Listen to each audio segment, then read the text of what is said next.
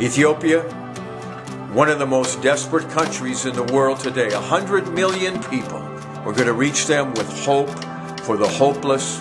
We're going to reach them with the light in the middle of their darkness.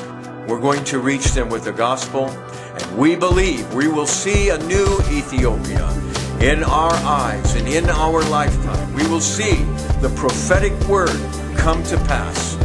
Psalm 68:31 Ethiopia shall soon stretch out her hands to God. We'll see this as a family and each one of us will be a part of this outrageous and crazy revelation that God has given us that we can make a difference on our planet today. We can leave our footprints in the nation of Ethiopia, in the lives of Ethiopians. We can do it. We can do it if we'll hear the silent cry. Will you hear them? Will you go? Will you be the difference for Ethiopia today?